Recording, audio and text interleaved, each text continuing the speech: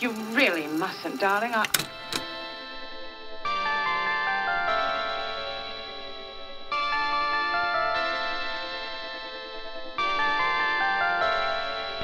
All right, can I comment episode number two, where we're just talking in just little bites about just different things we see, read, listen to that um, we want to comment on or bring our perspective to. So, uh, this one, it's no, I mean, anyone that knows anything about the Christian world over the last couple of years knows that in every denomination, every vertical and stream of ministry, a massive leader has fallen, right?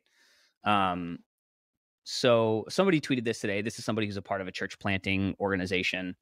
Said this My suggestions for killing celebrity church and pastor culture. A church should be no larger than 150. Instead of growing larger, send more out. Stop building notoriety off sermon podcast off of sermon podcasts. No lead senior pastor roles, only polycentric pastoral teams and no church franchising. So before going through some of what I thought were the good responses to this, what would your initial thought on that be? My initial thought is that this person is having a reasonable reaction to um well some of the things that have come to the surface Mhm. and you know leadership failure and moral failure um but that they haven't necessarily thought through all of their conclusions um maybe from a biblical standpoint but Mhm. also just logically Right. um now they are putting it forward as their suggestions Right. so you know they're not saying this Right. is gospel but Mhm. uh, I I wouldn't necessarily agree with all their conclusions. I have found myself thinking and and asking uh, questions in my own mind, you know, specifically with um, with the stuff surrounding Hillsong and and Brian Houston. Um, is there a certain point where like it's just too big Mhm. for one person? Right.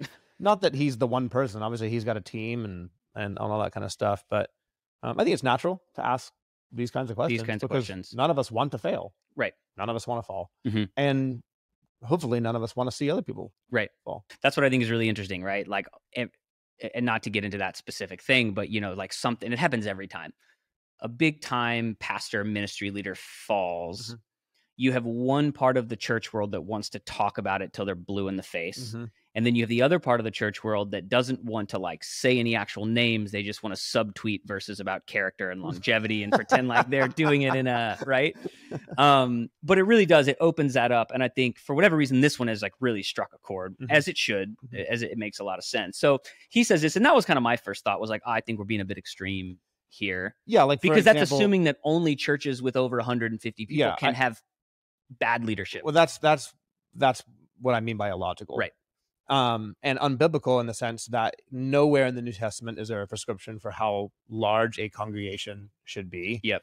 Um, I mean, I even think this is an Old Testament example, but like when Jethro gave Moses advice, Mhm. he certainly didn't limit those leaders at 150. Right. I think you had like leaders of a thousand and you know, on down from there. So, um, I don't think that that's a logical conclusion. And to your point, you know, having a church of 150 people does not make you immune to Right. all kinds of Right.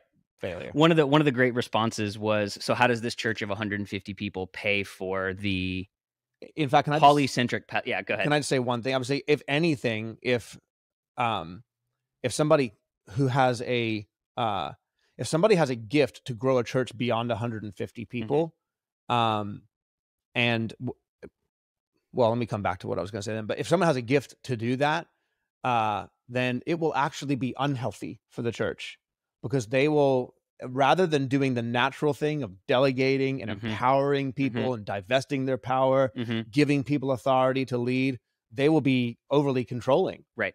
And that that will produce bad outcomes as, As well, well. and an unhealthy culture. Right. Growth happens. To me, this person sounds like they don't understand how healthy growth happens. Right. Healthy growth happens by the giving away of power Right. Um in inside the organism of, of a church. And so um I just yeah. Mhm. Now you can solve that problem by sending out churches Sure. and church planting. And I think church planting is an absolutely necessary thing hmm um i do think that there's something to be said about like th- there has been, I think, in some instances, like an empire kind of mindset Yep. um, in in evangelicalism uh, that is uh, not a healthy thing. Um, but somebody can seek to build something significant without being motivated by having their own empire. Right. Um, I think it's more nuanced than that. Mhm. Like for us, for example, we plant locations of our church. I have absolutely no desire whatsoever to have like I don't have a global takeover plan. Right. I don't want to plant a church in every major city. I don't Mhm. want my name to be known Mhm. by Christians in every major. I Yep. don't want that whatsoever. What I want to do is what God wants us to do. Right. And I know that you know that can sound like a like- a Christian trope. Yep. Um, and so you just have to be in our community to kind of discern whether or not that's what we're doing. Right. Um, Well, that's what's hard, right? Some i- i- it's I think it's a really false assumption to assume that anyone who has a global takeover mentality has anything but pure intentions in the first place, Mhm. right? It's only until that bears out do you know if someone's intentions are right or wrong. mhm, yeah. You know, like it, it's really easy. I mean, at least that's my initial thought because Mhm. and, and I'm the guy that always tends to be like roll my eyes at the Sure. super over ambitious, but I think something I'm always challenged with is like, who am I to judge Mhm. why someone is doing something? Mhm. Um, and I think it's a it's a false assumption to say that everyone is just trying to build something. I think this person is big, trying to they're trying to be prescriptive when they shouldn't be being prescriptive. Mhm. Um, at the end of the day, God has different graces for different people. Mhm. Uh, so far, God has graced us, you Mhm. know, to to lead a church of um, more than 150 people, Mhm. and I feel pretty healthy. Our church feels healthy. Mhm. Uh, so Yep.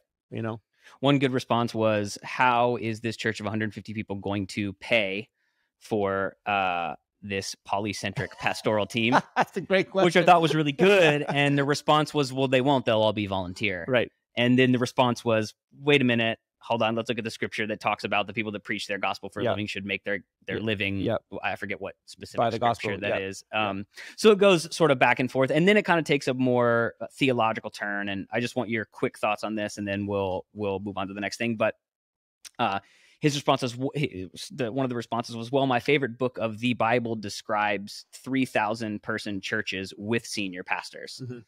And the person responded, um, I contend, so do a few other historians, that the church in Acts was not actually a church, ecclesia, but an event that was eventually scattered. Mhm. Um, any thoughts on that? That That's seemed fine. that yeah, I mean, yeah. obviously they're talking about on the day of Pentecost, Peter gets Yep. to preach, three thousand are saved. Um, you know, a short while after that, another couple thousand are saved. So you mhm. seem to have a large Christian presence in Jerusalem. Mhm. Um, they're gathering in in some sense. They're they're. I mean, it it says in Acts that they're meeting together in their homes and Mhm. also coming together in Solomon's portico. Is Mhm. it so? There's some kind of large gathering happening. I don't know how that Yep. you know materialized, but um, I I think I could kind of see both sides of that um of that discussion, but it, it again I don't see any New Testament limitation to keeping a church under 150 people. I think that's totally arbitrary. Um, I do think that there's a basis for uh, uh, churches that have strong eldership Mhm. and, or in their terminology, polycentric leadership. right. So, for example, the church in Jerusalem, you have the apostles. Mhm. Great. Mhm. But Peter's kind of the leader. Right. And after Peter, it was James, the brother of Jesus. Um, when Paul writes to Timothy, who's leading the church in Ephesus, which was believed to be quite a large church, Mhm. uh, Timothy's the leader. Right. And so you can have headship, you can have leadership, but Mhm. still have team. Right. Um, and so again, I think this person is drawing some conclusions that they just haven't thought through all the way. They're not necessarily biblical. They're kind of reactionary. Mhm. Um, they're motivated by health, which I can appreciate. Right. Um, but I think They're not they're- trying to tear it all down. They're, no, yeah. I but I think well, they're gonna Sort of. they're trying to tear it all down to 150. Yeah, yeah, yeah, true, true. it's kind of like um, it's it's kind of like uh, uh, you know, getting rid of guns in America. It's like good good luck, Good luck. knocking door to door. exactly. Good luck going church to church and getting all those pastors to just totally You disperse their Yeah. congregation. Yep. Um, it's a silly suggestion, I think, but it, it seems to be Mhm. you know motivated by something. Do you ever think we? uh, Do you ever think we overthink these kinds of things? Sometimes I just find myself going.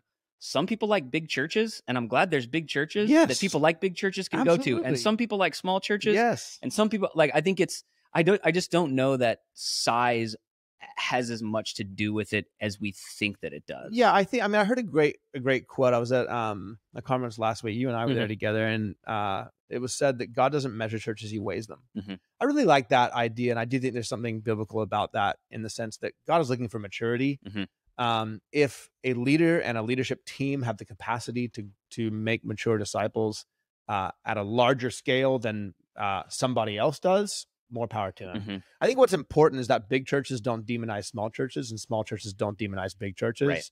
That to me is a really important thing. And we've missed that, I think, Mhm. um, at times. I think, uh, on, honestly, on both ends of the conversation. Um, we can kind of, if you're smaller, you kind of trivialize Mhm. the big church, Mhm. you know, um, they're watering down, Yep. blah, blah, blah. And in some instances, larger churches have not done a good job at making Mhm. disciples. But in a lot of instances, small churches haven't done a good job at Right. making disciples. And so to me, it, it's we're missing, we're having the wrong conversation. It's not about the number. Mhm. How effective are we at doing what Jesus commissioned us Mhm. to do? And am I gifted and graced to do that at a certain scale? Is somebody else gifted and graced to do it at a different scale? Right. Wonderful. Right. Yeah. Let's celebrate all of it. Great. Love it.